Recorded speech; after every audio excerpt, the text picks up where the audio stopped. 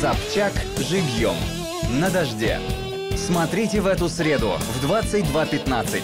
В гостях совладелец и председатель наблюдательного совета консорциума «Альфа Групп» Михаил Фридман. Я пришла. Поговорим?